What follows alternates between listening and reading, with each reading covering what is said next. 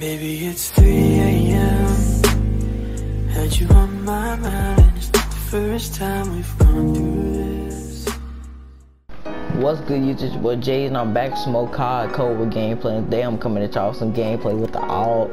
And I'll be showing y'all the best class setup with the AUG and the class setup I use with the gameplay. I'm gonna show y'all. So let's get straight into it. Optic, no optic muzzle, Sakuma Eliminator barrel, 17 titanium body and same point, under barrel, bruiser grip, magazine, 45 round speed mag, handle, SASR jungle wrap, jungle grip. I mean and stock, a duster stock. Uh, for this, I would have really picked this, but I don't know why. I, I didn't have it unlocked then.